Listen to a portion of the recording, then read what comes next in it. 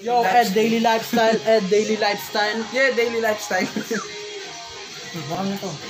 Yun ah, dito ngayon sa aking hood sila Edward at si yan, Mark. Kaya mo yun siyan mga tol, ayan. So, di mo man lang ako pinakuha ng sombrero muna bago ako mano dito. Tama yan, para ikaw si ano, ikaw si Lil Koy. Hoy, Lil ko. Koy. Yung pa pabounce na kami sa ano, sa event namin diyan sa Baywalk. Omar B. Shoutout kay Omar B at syempre kay R.A. Balingit. Gigi. Yan, shoutout sa inyo mga solid na may ano, clothing line. Ayan, solid yung mga gawa nyo, men. Shoutout din sa Cure. Siyempre, Cure.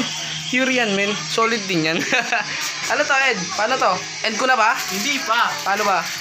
Kayo, kayo, mag... Siyempre, konti magpapabango tayo. Ah, Mm-mm, papabango. papabango din ako Tapos, eh. Mga babatiin dyan, Ed Day. Ayun, binabati ko nga pala lahat ng tambay dito sa amin sa Barangay Bantayan. Ayan, ah, Salamat. shoutout sa inyo lahat. At, ah, Ang daming naging bagong tropa. Yon, daming tropa sa sa ano nga pala sa yan sa Campo Crame sa QC ayan. Maraming maraming salamat po sa binigay nyo sa aking certificate award ayan. At uh, binigyan nyo ako ng panggasolina ko sa aking pangarap. Ayan yun oh. Yun oh. Yeah. Yeah. Yan. Maraming maraming salamat po dyan sa binigay nyo sa akin na ganyan. At uh, yun, at sa magandang pag ah, treat sa akin doon. Accommodation, parang Mga- gano'n. Magandang accommodation. Yo, maraming maraming salamat. Rekta sa event. Recto sa event. So end ko na. Oh.